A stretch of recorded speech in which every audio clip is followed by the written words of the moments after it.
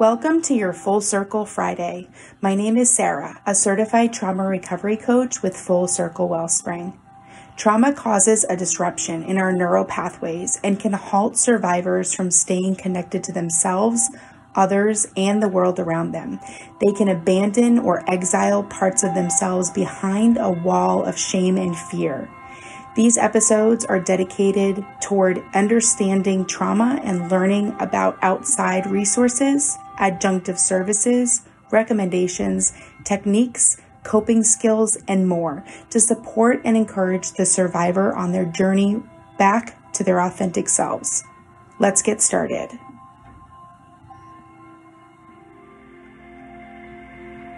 Today's topic is useful. On Wednesday's episode, we talked about discovering which coping skills from your trauma have become no longer needed. They aren't serving you anymore, or they've even been destructive to your well being. So, today I want to wrap around some of that concept with some resources that might be helpful to survivors so that you can begin to uproot those maladaptive coping mechanisms and replant with some useful ways to be supported as you seek health and wellness in your trauma recovery. My personal philosophy is that we are made up of many components. I don't think you'll just find the perfect therapist and your life will change forever. I also don't believe that you can just find the love of your life and all the pieces will fall into place. I believe in a whole balance of all your main parts mental, physical, spiritual, psychological, interpersonal, intrapersonal, social, sexual, nutritional, recreational, financial, educational, familial, environmental, and probably a few more that you can think of for your own personal journey. These pillars are areas where we can find healthy attributes and actions that can come together to create a synergy of support, health, and positivity. You may know someone, for instance, who has so many friends, has a great outdoor lifestyle of regular activities, but hates their job or their spouse. The imbalance there is going to eventually cause a suffering. And you know, as trauma survivors, we've suffered enough. The work we do in our trauma recovery road is deep, painful at times, and healing. And in this process, it's important that we do what we can to find peace in other areas of our lives the best that we can. Again, this is an ongoing progressive lifestyle challenge. The universe is going to ebb and flow your current situation from time to time. No one can be a happy millionaire fun model all the time, nor should that be the goal. So here's where you get to have some fun. Here's where you get to set your sights on a vision of what a peaceful, happy life looks like for you. This exercise might also be a little bit triggering as you investigate, so don't get down on yourself too hard when examining these things. Take some time when you feel grounded and safe to take a little inventory of some of these cornerstone areas of your life. Write down what each one means for you. Figure out what would be useful ways to move ever so slightly toward your most ideal, and then start some small practices. Finding balance in some of these areas will naturally start to move you away from some of those maladaptive coping patterns that you've been in because you can begin offering your mind and body and spirit new tools to try. So when you're stressed, depressed, overwhelmed, or triggered, you can have these ideas of useful resources in your back pocket, and it gives your brain a larger variety of things to choose rather than just its usual default coping skill. So here's some ideas just to get you started. So, for mental health, you could get out in nature to reconnect by disconnecting, turn off the news, find a therapist or a coach, utilize a mood tracker app, ask for help when you need it, try volunteering somewhere meaningful to you. For physical health, practice some joyful movement, go swimming just for fun Take a friend on a hike. Switch up your routine. Set an alarm to stand up once an hour at your desk to stretch. Find a type of body work that you enjoy receiving. For your spiritual health, you could try meditation, keep a dream journal, ask someone you admire about their spiritual beliefs, seek help for any religious trauma in your past. For your psychological help, you could read The Body Keeps the Score by van der Kolk If you believe you have a psychiatric issue, consult with your doctor. Ask a trusted family member about your family's psychiatric health history. Find a grounding technique that works for you. For your interpersonal health, learn about active listening. Join a team sport in your community. Ask your partner to try a couples counseling to improve communication skills for you both. For your intrapersonal health, work with an IFS practitioner to improve your self energy and self leadership. Set aside time for self inquiry and reflection at the end of the day. Practice self affirmations.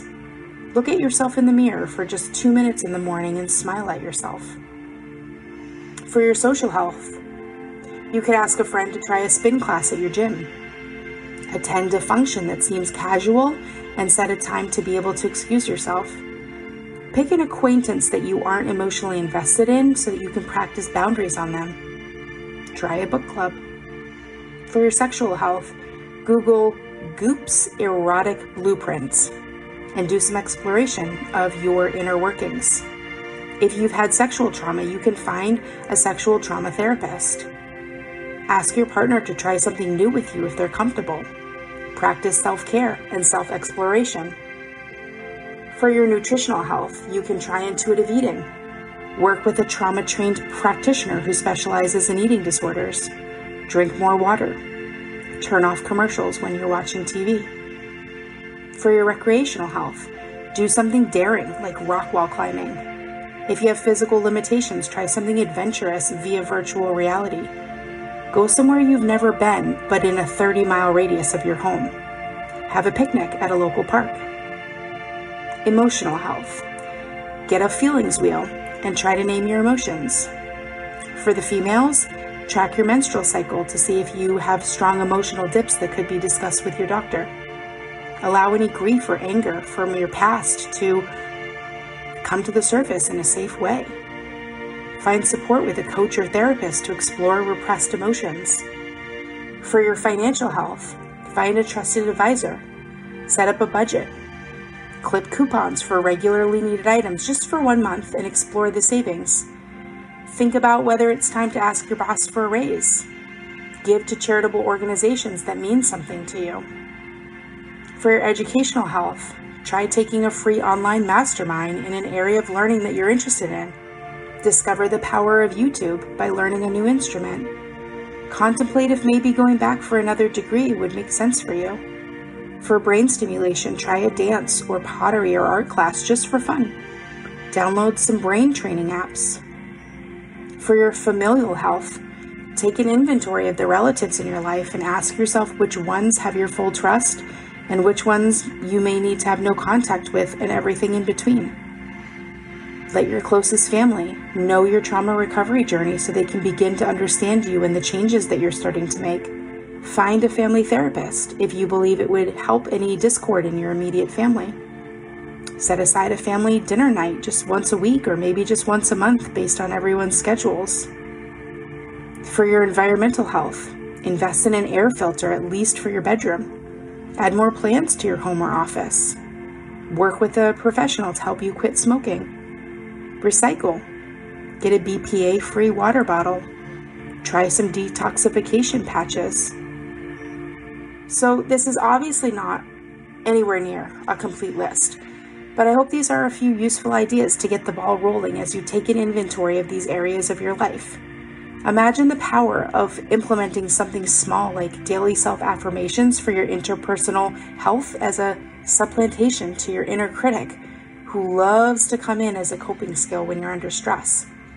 Eventually, the affirming self will have a more habitual ground in your life than the critical one. So these are just some examples.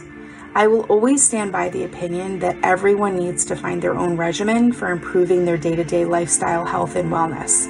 It is imperative to have a strong, healthy lifestyle while journeying down this trauma recovery maze.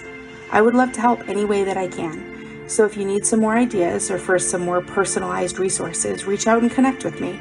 And I'd love to hear what you do to help yourself in these key areas of life as well. Keep progressing and be gentle with yourself. A masterpiece isn't painted all in one day. Small incremental changes will lead you to a content lifestyle. Find balance. You got this. Thank you for joining me for today's episode of Trauma Survivorhood. This has been written and created by your host, Sara, a trauma recovery coach. For more info about me, trauma recovery resources, or to check out our support groups, classes, free survivor circles, private coaching, and more, visit www.fullcirclewellspring.com. Schedule a complimentary 20 minute discovery call to see if coaching is right for you. For the latest info on schedules and updates, follow us on Facebook at Full Circle Wellspring. All other media, social links, blogs, and show notes are posted in the episode guide below. Until next time, be well, survivors.